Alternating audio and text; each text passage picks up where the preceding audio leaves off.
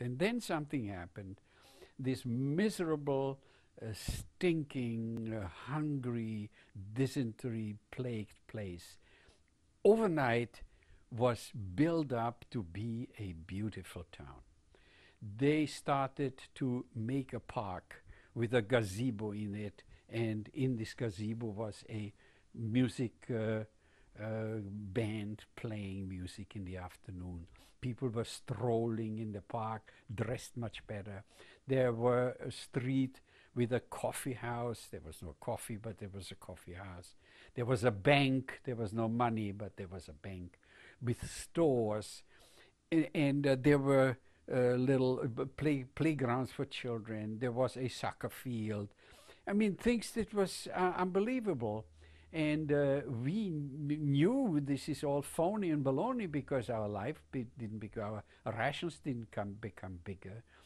But uh, we knew what it was all about because we were told there will be a movie crew to come in to film for the outside world what a wonderful gift Hitler gave to the Jews that he gave them a town which is more or less like a retirement place.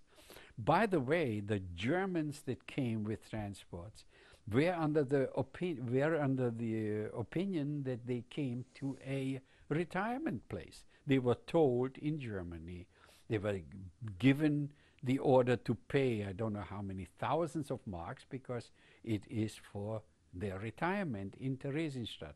And that they will have their apartment and they have their cleaning crew and everything was promised to them. For them, that was quite a, a shock when they saw what they came into.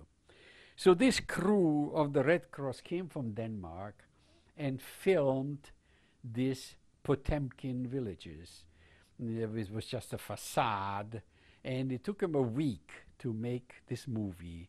And we had to uh, parade uh, in front of the bank and the coffee house, and we had to listen to the concerts.